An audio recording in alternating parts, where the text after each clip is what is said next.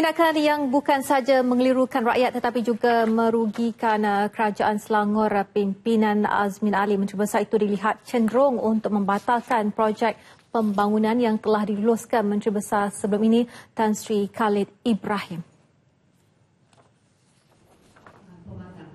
Isu berkaitan telah dibangkitkan adun Sungai Panjang Budiman Muhammad Rohdi dalam sidang DUN. Antara projek yang dibatalkan adalah pembinaan lebuh Kinrara Damansara Kidex sepanjang 14.9 km dengan alasan syarikat konsesi gagal memenuhi syarat ditetapkan. Manakala projek penstrukturan semula industri perkhidmatan bekalan air belum dapat dimutamatkan kerana kerajaan negeri masih bermain tarik tali dengan kerajaan persekutuan.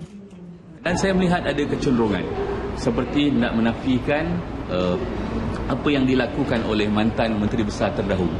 Kita ambil kira dalam konteks air. Saya rasa semuanya telah dipersetujui dan kemudian akhirnya tiba-tiba uh, ada kaedah yang menyatakan perjanjian itu harus dikaji semula ataupun dibatalkan dan sebagainya. Begitu juga dalam soal KIDEX.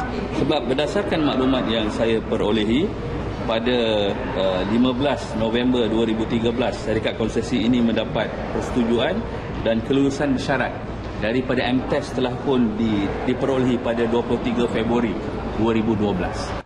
Bangkit menjawab soalan mengenai KIDEX, Azmin mendakwa tidak pernah didedahkan dengan terma perjanjian antara kerajaan persekutuan dengan syarikat konsesi. Kerajaan negeri tidak pernah didedahkan tentang terma-terma perjanjian lebuh KIDEX. Perjanjian adalah di antara kerajaan persekutuan iaitu Kementerian Kerja Raya dengan syarikat konsesi Lebuh Raya Kidas Sdn Berhad yang telah ditandatangani pada 15 November 2013 dan dokumen perjanjian diklasifikasikan sebagai sulit dan berhad. Kerajaan negeri telah meminta untuk perjanjian ini didedahkan kepada pihak awam namun usaha tersebut tidak pernah diendahkan oleh kerajaan persekutuan.